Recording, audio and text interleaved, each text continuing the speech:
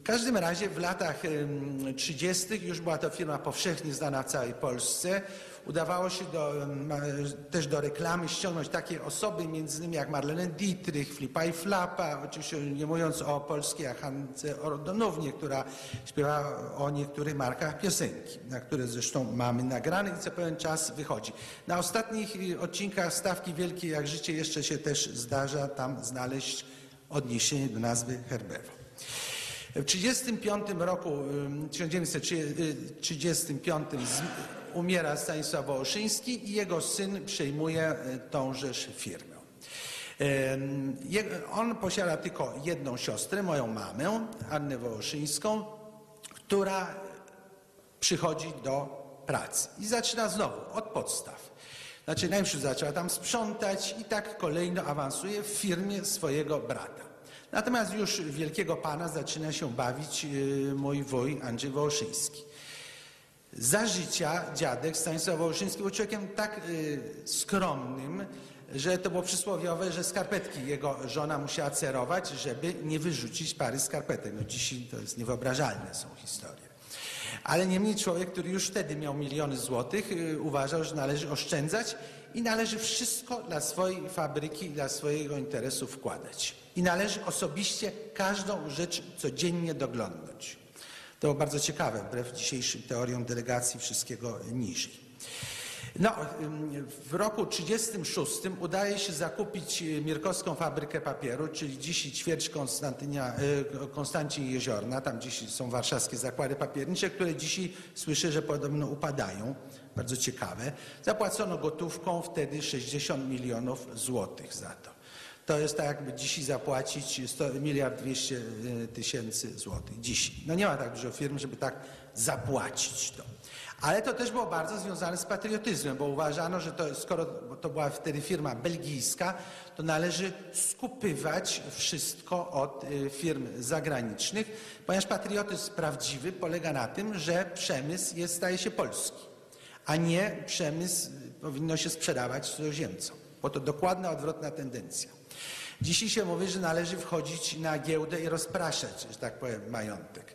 Yy, No i mój wuj i moja mama starali się wszystkie akcje skupić z powrotem i to im się dość udało skutecznie przed wojną. Także to była spółka akcyjna Herbewo, ale tak naprawdę było dwoje właścicieli. Jakoś była tak dobra, y, tak dobra organizacja, że y, to jeszcze należy nadmienić o ogromnych y, skali działań charytatywnych. Zbudowano kościół świętego Szczepana w Krakowie, szkołę w Ciorsztynie, szpital Bonifratrów w Krakowie. To były różne takie większe, mniejsze akcje. Jeszcze mam jedno tylko zachowane pudło, no, duże pudło, gdzie jest parę tysięcy pokwitowań dawano, 200, 5 zł, to na szkołę żydowską, to na dzieci biedne, tam komuś, tam komuś, tam komuś, albo często pożyczki, które umarzano. Była taka zwyczaj dać komuś 500 zł pożyczki, jak spłacił 250, to resztę mu się umarzało. To zresztą miało dalsze, takie dobre serce miało dalsze reperkusje bardzo dobre w przyszłości. No, były różne kłopoty. Na przykład urzędnik Izby Skarbowej w roku 1938 się doczepił jakiejś delegacji. Za dużo wydano na delegację w Warszawie i za dużo tutaj koszt spędził mój wuj, y, za drogo tutaj wydawał. I tenże urzędnik dał duży domiar, no ale później taka historia, którą mama opowiadała, że tenżeż biedny człowiek podczas okupacji był biedny i głodny, to przychodził i był w stołówce karmiony całą okupację właściwie, czy od połowy okupacji. Więc to takie są różne koleje losu. Więc nawet złośliwy urzędnik czasem y, no, różnie trafia. Y, i mamy sytuację, że jest rok 1939. Niemcy zajmują e, Kraków, ale ponieważ znali doskonale e, mojego wuja, miał zresztą różnych przyjaciół w Niemczech, producentów maszyn, które stamtąd kupował do produkcji, do papierni tutaj w Mierkowie, do, do swojej produkcji w Krakowie, to y, na początku się nie bardzo obawiał. Niemcy, jak wkroczyli, ogłosili, że to jest jedyny zakład przemysłowy w Polsce, który jest warty do zwiedzania przez Niemców, ponieważ to jest Mr. Getrip i jako przykład organizacji powinien służyć Niemcom. Proszę zwrócić uwagę, nas uważają za subludzi, a tutaj Niemcy zaczynają przyjeżdżać i uczyć się, jak organizować wszystko. No ale Niemcy by nie byli Niemcami, gdyby po roku prawie nie w nagrodę za to mojego wuja nie wysłali najpierw na Montelupich, czy takie więzienie, a później do Oświęcimia, gdzie spędził prawie do końca, później go wywieźć do Stutthofa.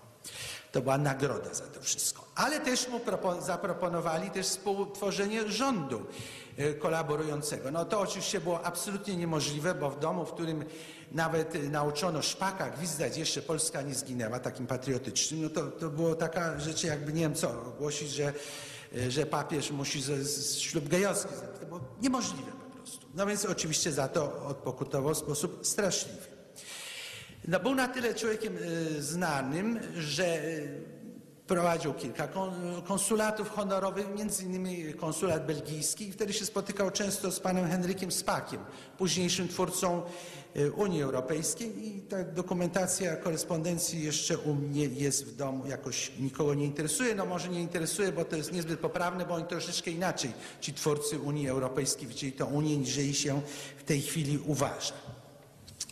Proszę Państwa, no, okupację y, oczywiście została produkcja wstrzymana, tam siedział Wehrmacht, naprawiał swoje silniki lotnicze, y, no był straszny okres, ale podczas y, okupacji ze zgromadzonych zapasów bibułki papierosowej, która była towarem absolutnie rarytasem, Niemcy pozwalali co nieco zabierać i to zostawało rozdawane do ludzi.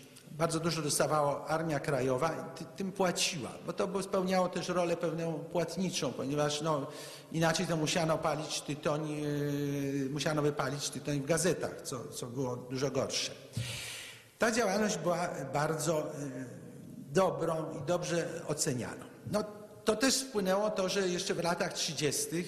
moja mama, jak i jej y, mąż, później przyszły, y, studiując na wtedy Wyższej Szkole Handlowej w Krakowie, ich duszpasterzem akademickim był nomen omen, siedzimy w Pałacu Sapiechów, ale z tejżeż rodziny kardynał Sapiecha, który mówił dla tych młodych przyszłych przedsiębiorców, y, co to jest, jak w ogóle się powinno postępować w życiu. No, dużo rzeczy, ja już później też mama mnie opowiadała, jak on to mówił, o różnych rzeczach takich ciekawych, ale to nie, można powiedzieć, że to był wielki człowiek, bo on mimo wszystko miał duży wpływ na Jana Pawła, na, na młodego Wojtyłę i stąd jego ogromne zainteresowanie Wojtyły później społeczną, tak się mówi, społeczną nauką Kościoła, ale, ale tym związkiem chrześcijaństwa z przedsiębiorczością. No, niestety, no, mój wuj był człowiekiem już bardzo, e, można powiedzieć, rozbestwionym, jeździł super samochodami, prowadził wystawny tryb życia. Oświęcim go sprowadził do, e, do parteru.